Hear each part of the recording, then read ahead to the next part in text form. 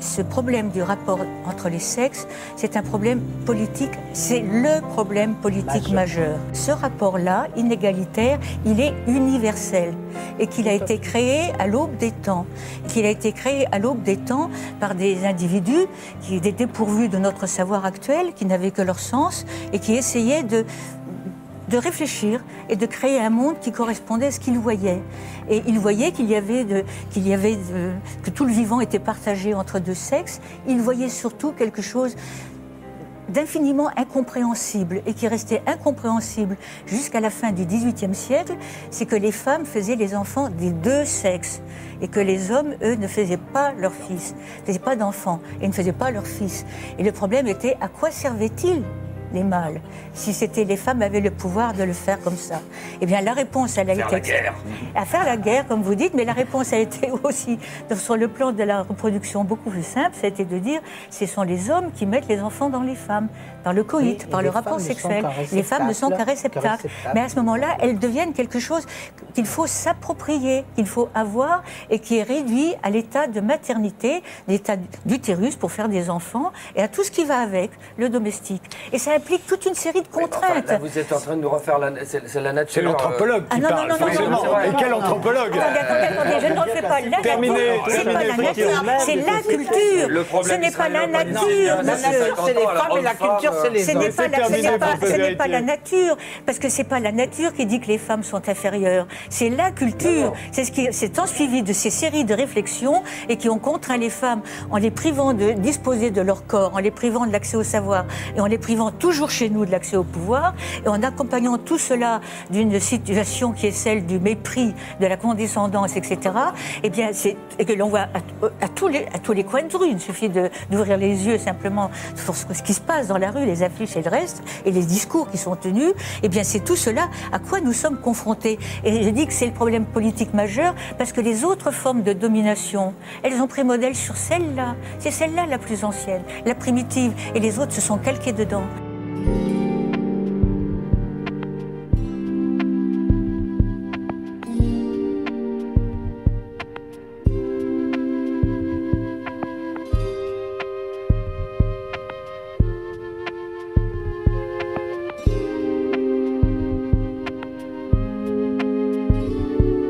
Masculin, féminin, tome 2, Dissoudre la hiérarchie. Dans Dissoudre la hiérarchie, le deuxième tome masculin-féminin, Françoise Héritier répond aux critiques qui lui ont été adressées suite à la publication du tome 1, sorti six ans plus tôt en 1996. Elle y prolonge d'abord son analyse anthropologique sur les origines de la valence différentielle des sexes, avant d'écrire une deuxième et troisième partie plus politique et plus personnelle, sur ce qui entrave actuellement, enfin au moment de l'écriture en 2002, la progression de l'égalité entre les sexes. Et elle termine ce livre en proposant ses solutions pour aller vers cette égalité.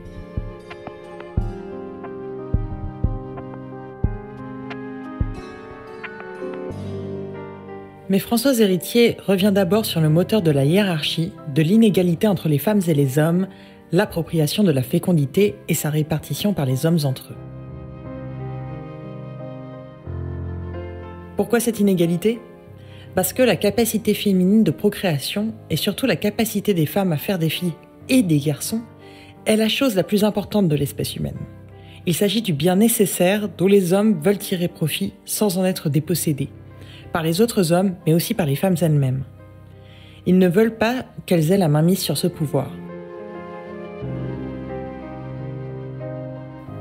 Le masculin procède de l'extorsion du fils par le corps des femmes, l'extorsion du prochain dominant. C'est la nécessité numéro un pour les hommes, la raison pour laquelle le lien de suggestion est entretenu aussi durement. La racine du sexisme serait ainsi à chercher du côté de l'incapacité pour les hommes à se reproduire à l'identique. Une femme peut faire une fille, mais un homme est obligé de passer par le corps d'une femme pour faire un fils. Cette insécurité, cette dépendance est perçue comme une humiliation pour les hommes, infligée par les femmes, une injustice à la base de la domination masculine.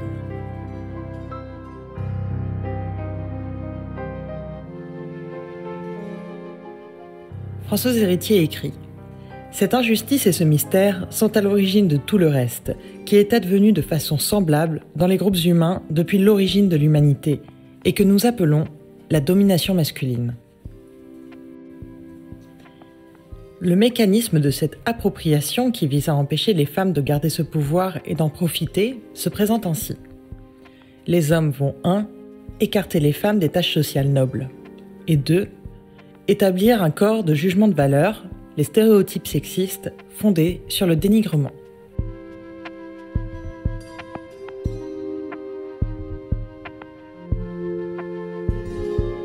Première partie. Idées reçues toujours actuelles. Françoise Héritier fait l'inventaire des idées et mythes qui sous-tendent les stéréotypes.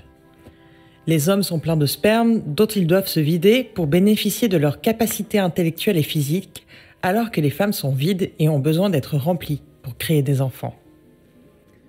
Les femmes sont uniquement de la matière, la forme, la vie humaine sont conférées à l'embryon uniquement par le sperme. Lorsque les femmes sont vides, le sang se congestionne dans la tête. Ce stéréotype a mené entre autres à la conceptualisation de l'hystérie féminine. Dans la conception aristotélicienne, la matrice et la tête se confondent chez les femmes. C'est une justification pour refuser l'accès à la connaissance des femmes, pour les confiner aux domestiques. Les femmes sont dangereuses, les femmes sont en danger. Les femmes portent en elles l'antagonisme de la vie et de la mort, incarné dans deux fluides, le lait et le sang. La contraception masculine est vue comme une atteinte au sperme ou à l'appareil génital masculin, et est donc une atteinte à la virilité, indissociable de la personnalité masculine. Alors que la contraception féminine n'est pas une atteinte à l'identité des femmes. Et pourquoi? Parce que les femmes ne sont pas des personnes.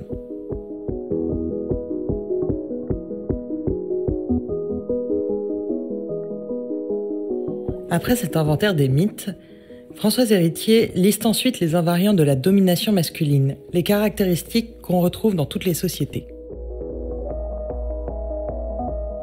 L'appropriation du corps des femmes est un droit naturel des hommes.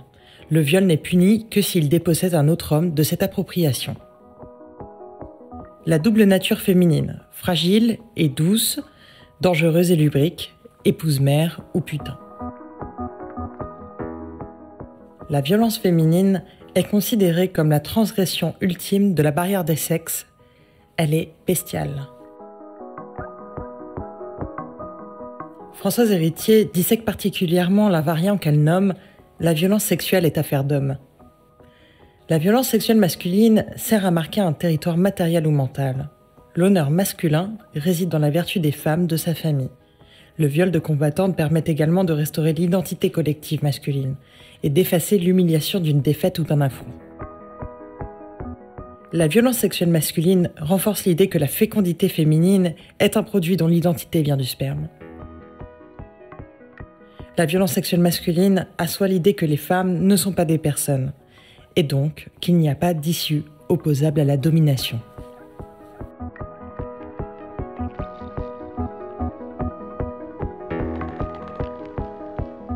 Deuxième partie.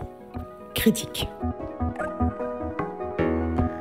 Dans les deux dernières parties de ce tome, Françoise Héritier s'éloigne progressivement du champ anthropologique et présente plutôt son interprétation de l'histoire récente des acquis des droits des femmes, notamment sur la contraception, et comment de manière générale elle envisage la dissolution de la hiérarchie entre les sexes.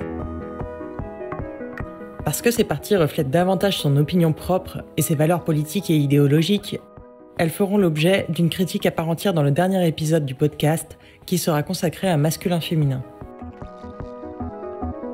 Dans cette deuxième partie, elle revient d'abord assez longuement sur un point qu'elle a déjà abordé dans le premier tome de Masculin-Féminin et dans la première partie de celui-ci, l'appropriation des femmes par les hommes. Dans ces passages, elle est parfois plus claire et plus précise qu'elle a pu l'être avant. Françoise Héritier se demande pourquoi cette représentation universelle du masculin supérieure au féminin? Elle écrit Pour expliquer de quelle manière cette appropriation du féminin par le masculin a pu advenir à un moment donné, il faut revenir à l'homme des origines. Celui-ci ne pouvait porter un jugement sur le monde que par le truchement de ses sens. Son corps lui permettait donc de faire un certain nombre d'observations et d'expériences. et de donner sens au milieu dans lequel il était plongé. Deux observations brutes, portant sur des faits sur lesquels il n'a pas de prise, s'imposent à lui. 1. Il y a une différence visible, palpable entre le féminin et le masculin, et cela dans tout le règne animal. C'est une régularité, une constante qu'il est impossible de modifier.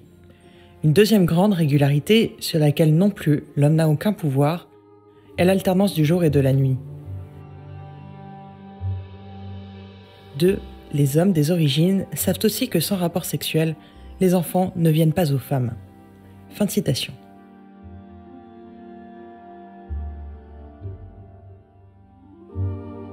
Mais pour Françoise Héritier, cette partie est l'occasion d'aborder ce qui est pour elle, je cite, la grande révolution de notre époque, la contraception.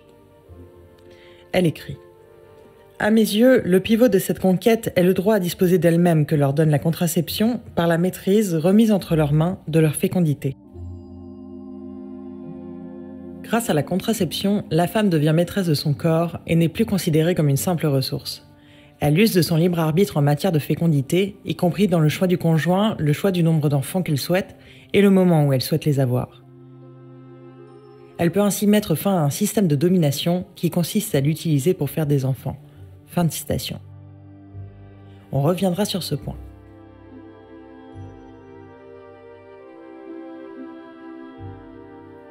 Françoise Héritier s'attaque ensuite à la question de genre et droit des femmes un inventaire des violences faites aux femmes en France et dans le monde au moment où elle écrit, basé sur des études statistiques.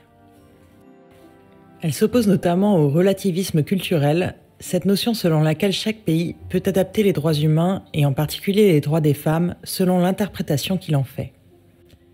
Elle affirme donc son universalisme. Elle écrit C'est la question universelle qui compte, car elle est immuable. Pourquoi y a-t-il deux sexes et que doivent être leurs rapports? Et non les réponses culturelles qui, elles, ne le sont pas. Elle nomme également les discriminations politiques, professionnelles, éducatives et scientifiques, domestiques dont sont victimes les femmes et s'appuie à nouveau sur toutes les études statistiques à sa disposition pour les dénoncer. Cela lui permet de souligner ce qu'elle appelle le paradoxe contre-productif, puisque selon elle, l'amélioration du sort fait aux femmes n'est pas seulement un impératif d'ordre éthique et philosophique, mais aussi un impératif économique. Elle s'appuie sur une étude de la Banque mondiale pour expliquer. L'expérience montre qu'une société qui accorde plus de droits aux femmes et surtout leur permet l'accès à l'éducation améliore la productivité économique à long terme et la santé globale de la population. Fin de citation. Pour Françoise Héritier, il y faudra du temps, mais l'évolution va dans le sens de l'émancipation féminine, d'autant que les intérêts économiques mondiaux vont dans cette direction. Fin de citation. On est loin d'une analyse systémique du patriarcat et du capitalisme.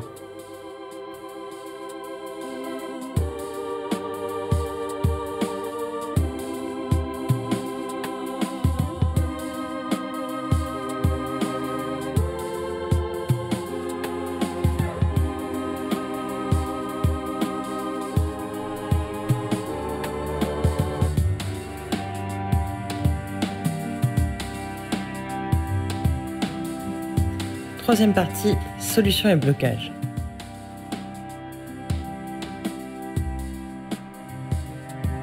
Dans cette dernière partie, Françoise Héritier tâche d'imaginer des solutions concrètes à la domination masculine et désigne les blocages qui entravent la marche vers l'égalité des sexes.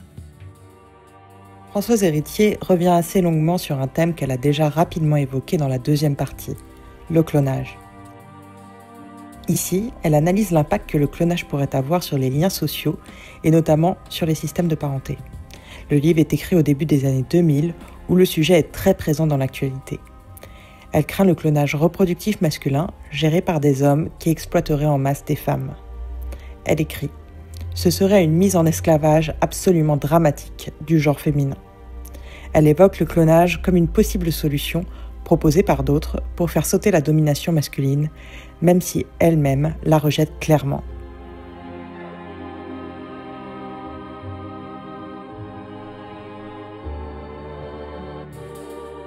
Françoise Héritier identifie ensuite les deux principaux obstacles à la dissolution de la hiérarchie. L'obstacle numéro un à la remise en cause de la domination masculine est la croyance que la pulsion sexuelle masculine ne peut et ne doit pas être réprimée. Ainsi, la lutte pour la captation individuelle de la sexualité des femmes prend deux formes. La première, les liens de sociabilité entre hommes reposent sur l'échange entre des filles et des femmes dont ils sont propriétaires, c'est le mariage. La deuxième, toutes les femmes qui ne sont pas appropriées par un homme, gardées et défendues, sont la propriété potentielle de tous les hommes. C'est le rapt, le viol et la prostitution. Les femmes sont ainsi rangées dans trois rôles sexuels. La procréatrice, la propriété sexuelle et l'objet de plaisir. De cette croyance découle l'idée que les femmes sont les supports des pulsions sexuelles masculines, qu'elles existent seulement pour le bénéfice des hommes. La société se structure alors autour de l'identification, l'authentification et l'intensification des pulsions masculines. La publicité, la pornographie et la prostitution en sont les matérialisations les plus frappantes.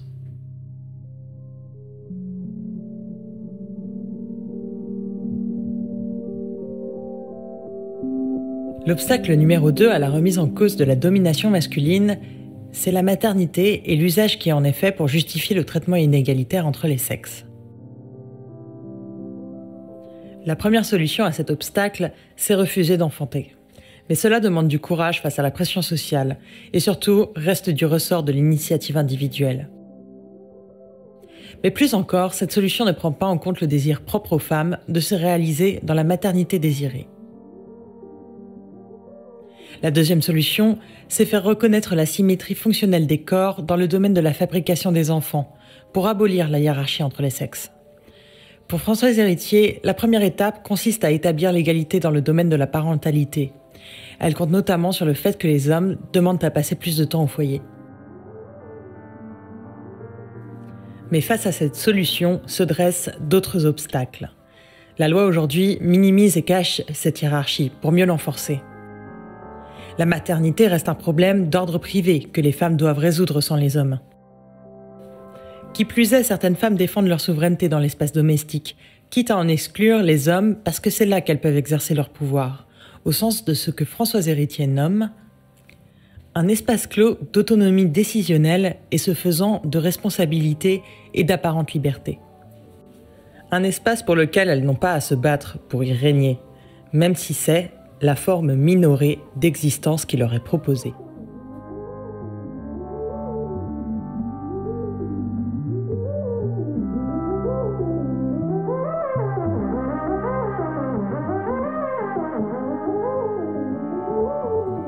Françoise Héritier fait le constat que bien qu'on sache désormais grâce à la science que les femmes ne sont plus passives dans la procréation, le sexisme reste solidement ancré dans les pratiques sociales. Pour aller vers l'égalité, les solutions de Françoise Héritier sont en premier lieu, le droit à la contraception, qui est comme un levier permettant aux femmes de soulever le poids de la domination masculine. Elle considère que la fécondité est le lieu central de la domination masculine. Donc le contrôle par les femmes de leur propre fécondité revient pour elle à sortir du lieu de la domination. Grâce à la contraception, les femmes changent les règles du jeu. Elles deviennent des partenaires à part entière, elles ne sont plus des êtres inertes et soumis. Elles accèdent au statut de personne. La contraception permet de rééquilibrer l'ordre hiérarchisé de nos catégories mentales. Sa deuxième solution, c'est d'encourager le travail des femmes qui est un moteur de croissance et qui favorise la natalité. Elle énumère toutes les raisons pour lesquelles le travail des femmes est bon selon elle et termine par ⁇ Il rend possible l'accès à l'autonomie ⁇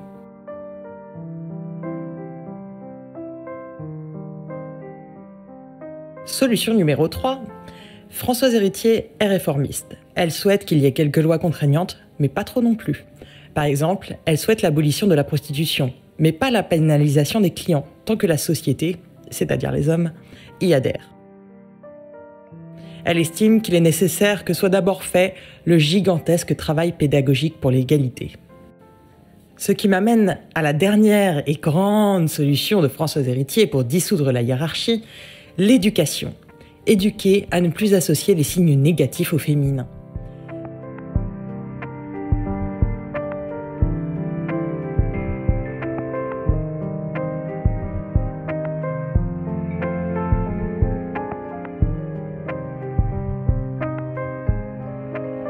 Cette solution, elle la martèle vraiment tout le temps au cours du livre.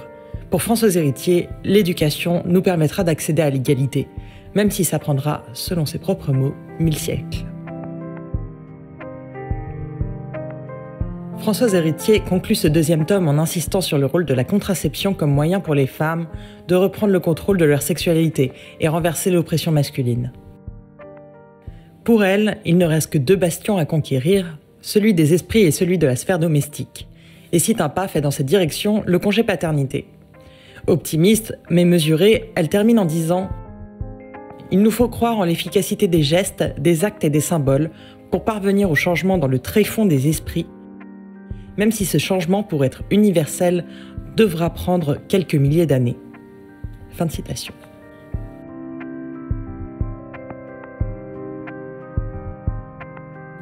Ici se termine la présentation de Masculin-Féminin, dissoudre la hiérarchie. Un dernier épisode sera consacré à une critique écoféministe et marxiste de cette œuvre de Françoise Héritier.